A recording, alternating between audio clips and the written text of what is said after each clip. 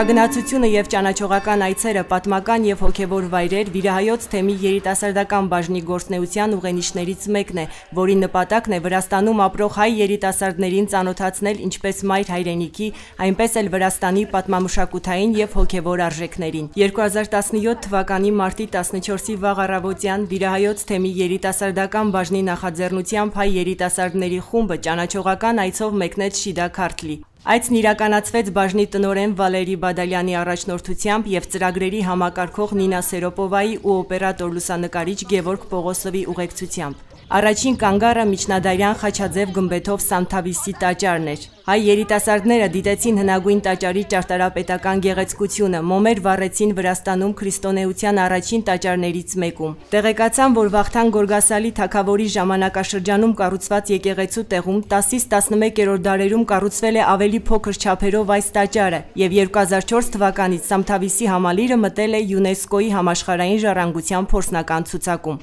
Էքսկուրսիան շարունակվեց Աթենիս Սիոնում։ Այստեղ ընթացող վերանորոգչական աշխատանքների պատճառով երիտասարդները հնարավորություն ունեցան միայն արտակնից դիտելու եկեղեցին։ Թերևս ճանաչողական այցը մեկօրյա էր, բայց այն հետաքրքիր էր ու բովանդակալից։ Հաջորդ տաճարը Ուպլիսցիխեն էր։ Վրաստանում գոյություն ունեցող ժայռափոր 3 խոշոր համալիրներից Դավիթ Գարեջի, Վարձիա եւ Ուպլիսցիխե հնագույնը Ուպլիսցիխեն է։ Այն անտիկ շրջանից հասած միակ շինությունն է, որը ներկայացնում է հնագույն ժամանակաշրջանի քաղաք եւ հետագայում դարձել է Շիդաքարտլի թագավորի Ուպալի Բերտ ամրոցը։ Երիտասարդները մոմեր վառեցին եկեղեցում եւ ընթերցեցին տապանակարերը։ Ճանաչողական այցն ավարտվեց Սուրբ Նշան հայկական խոնարհված եկեղեցու շրջակայքում։ Եկեղեցին փակ էր։ Երիտասարդները դրսից միայն կարողացան տեսնել ժայռի մեջ տեղադրված հայոց եկեղեցին, որի անվանումը հնչյունափոխված ձևով Սուրբ Նշան, Սուրբ Նիշանի, Շուբ Նիշանի պահպանվում է բնակչության շրջանում եւ հաստատվում է, որ այն եղել է հայկական եկեղեցի։